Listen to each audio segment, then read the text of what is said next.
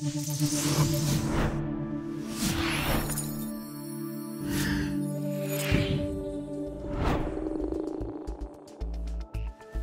think uh, we are all living in day one.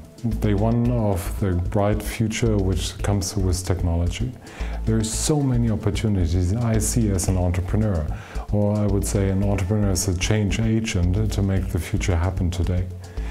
Um, if we focus on the big solutions like climate change or others, sure, the, the biggest force is still the consumer or consumption, but technology will help and enable new change of ways how we interact, how we do business, and how we protect our climate. Uh, for the management students, I think uh, I want to explain that going into an uh, internet startup or doing a startup themselves, being an entrepreneur, is a valid career move. It's no longer you have to go to consultancy to be successful. I spent unfortunately only one day in university and uh, lived my life through it.